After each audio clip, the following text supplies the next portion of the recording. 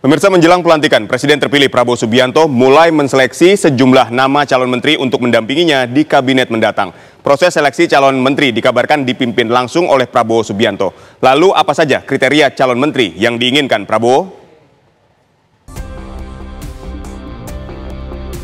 Presiden terpilih Prabowo Subianto dikabarkan tengah menseleksi beberapa nama sebagai calon menteri di kabinet mendatang.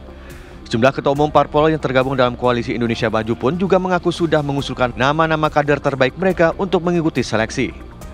Menurut juru bicara Prabowo, Daniel Anzar Simanjuntak, proses seleksi calon menteri dipimpin langsung oleh Prabowo yang dibantu oleh tim kecil.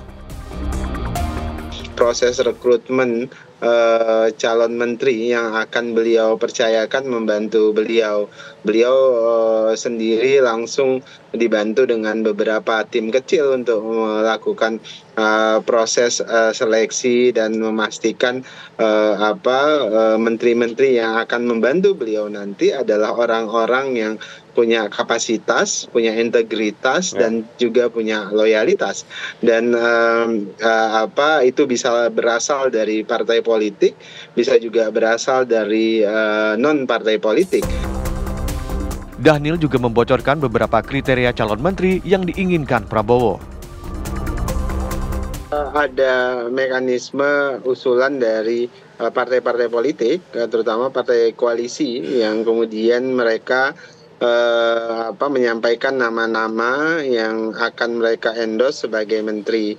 Nah tentu uh, pada akhirnya uh, Pak Prabowo yang menentukan nama-nama uh, tersebut layak atau tidak. Seba, uh, Pak Prabowo pasti menggunakan penuh hak prerogatif beliau dengan catatan Pak Prabowo tentu memberikan catatan uh, calon menteri itu harus punya integritas, artinya komitmen pemberantasan korupsi yang selama ini uh, sering disuarakan Pak Prabowo itu harus terpatri di setiap pribadi yang akan diajak Pak Prabowo bekerja di kabinet. Kemudian kedua tentu kompetensi itu yang hari ini banyak disebut oleh Pak Sekjen uh, Gerindra, Pak Ahmad Mujani juga disebutkan oleh Pak Sufmi Dasko terkait dengan zaken uh, kabinet di mana kabinet yang ingin dibentuk Pak Prabowo tentu harus memiliki kompetensi. Nah, kemudian yang ketiga tentu ya syaratnya uh, harus loyal, loyalitas uh, penuh kepada rakyat, loyalitas penuh kepada uh, presiden sebagai salah uh, sebagai satu-satunya pemimpin yang uh, memimpin kapal Indonesia di lima tahun ke depan nanti.